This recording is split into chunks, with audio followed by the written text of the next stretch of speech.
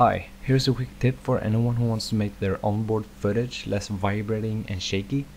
The main idea is to use steel wire to eliminate the vibration from the motors and the four rubber standoffs just helps out even more. Of course you want to make sure that your propellers and motors are well balanced before you do this. You shouldn't be able to feel if the motors are on or off when you feel on the booms.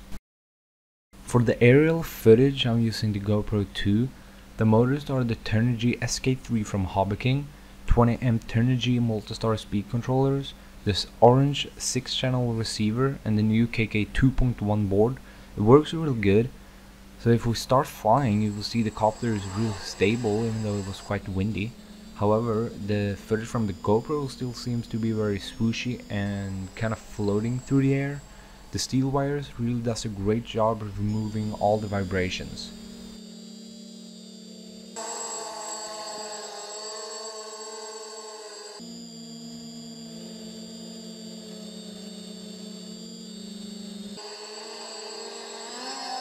It's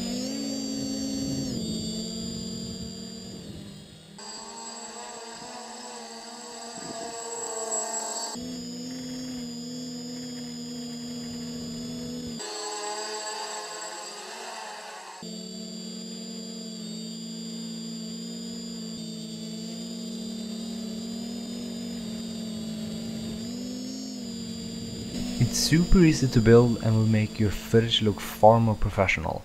No one likes shaky footage and this is just a cheap, quick way of doing it. If you would like a build video, comment below and I will be happy to make one. And don't forget to subscribe. Thanks.